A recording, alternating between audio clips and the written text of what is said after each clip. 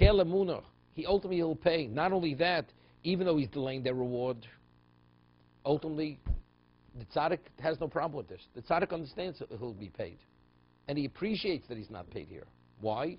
Because by not being paid here, it only increases the value of his accomplishment in this, in this world. No, but Kelamuna, like somebody once asked me, you know, person's a professed atheist. What does God make it so complicated for the tzaddik? So good. I said, why don't you go ask the tzaddik?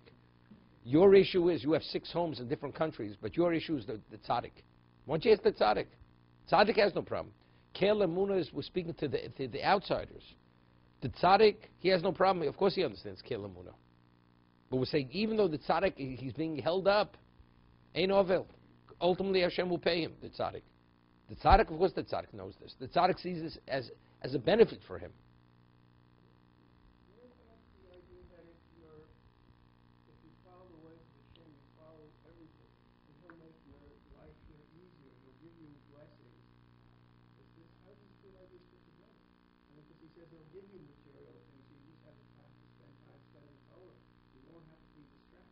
That could be, that's, that's material. That's material. You could have physical situations.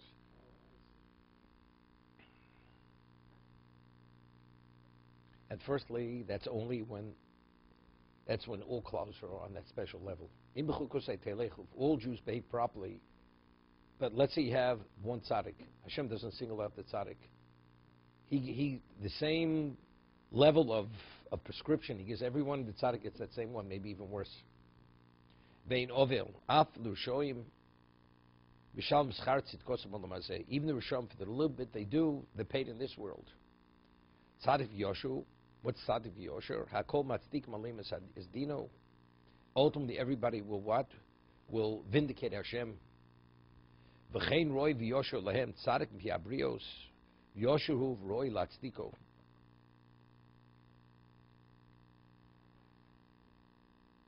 Mar says in Eruvin that ultimately when a person will be punished in the world to come, each person who receives punishment will say he deserves it. Nobody's going to be punished because there everybody will see the evidence is, is irrefutable evidence. This world person says why. When the person is judging the world to come, everything's irrefutable. So therefore, the person says, Hashem says, did you do this? Yes. Did you do that? Do you deserve the yes? And then he gets the punishment.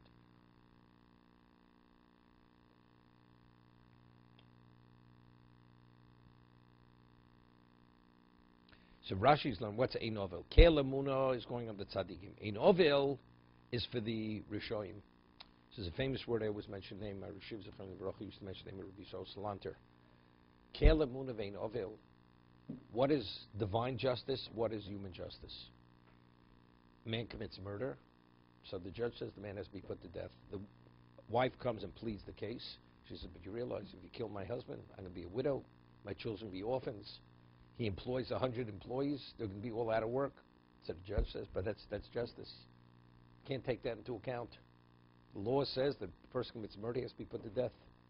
Hashem's justice is that whoever is affected by the, just, by the verdict, if he doesn't deserve to be affected, that verdict will not be given. That means Kel Emunah, he's the faith. There is no iniquity in his justice. There's no such thing as this fallout. If there's fallout and somebody's affected negatively fallout, it's because he deserves that, whatever that fallout is. If he doesn't deserve it, then Hashem will not do it. That's, the, that's how Shor Salanter learns. There's no iniquity in his justice. Reb Meir Simcha explains, says a similar, sim, similar. It says that Nodav Avihu, when they when died, it says, V'lo hoyil hem. And they had no children. That's what Torah says. So the, he asked, well, what, what is Torah telling us that? They died it's irrelevant if they had children. So the Sforno learns, because they would have had children, their children would have taken over their positions, not Elozni Summer. He says, no, Eloi Monim, because if they would have had children, they wouldn't have been struck down. Because what did the, the children would deserve to suffer. So therefore, the, the, ju the, the judgment would have been a different type of judgment. But because they had no children, the only one affected was Aaron, because he deserved to be affected, because he participated in Chet Egel, therefore that's the reason why they were struck down.